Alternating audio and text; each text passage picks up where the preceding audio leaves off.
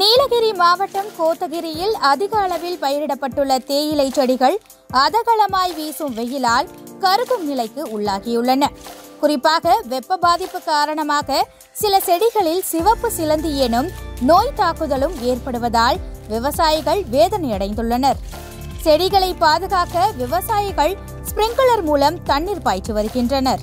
இதன் காரணமாக மீண்டும் தேயிலை செடிகளில் வெப்பம் தணிந்து நோய் பாதிப்புகள் குறைவதாக கூறப்படுகிறது. தொடர்ந்து தேயிலையின் கொழுந்துகளும் செழித்து வளர்வதுடன் சாகுபடியும் அதிகரிக்கும் வாய்ப்பு ஏற்பட்டுள்ளதாக தெரிவிக்கின்றனர்.